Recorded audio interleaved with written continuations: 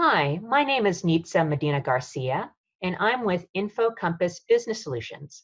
I'm a certified records manager, and I wanted to answer the question, what is records management?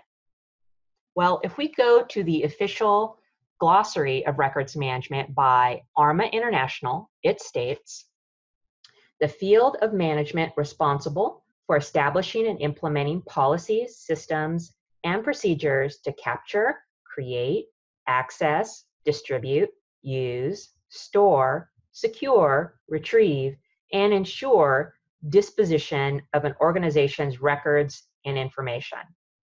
In other words, the formal systems in place to govern your business information from cradle to grave, regardless if it is paper or electronic.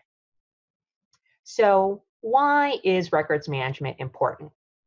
Well, records management is going to allow you to keep the information you need to keep. It will allow you to get rid of the information you no longer need. It will allow you to find the information that you need to find.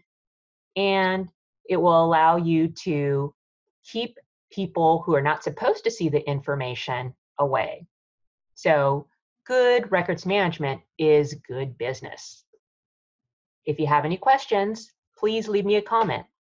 Or if you'd like to talk to me directly, you can go to my website at www.icbsolutions.net and make an appointment to talk. Thank you and have a good day.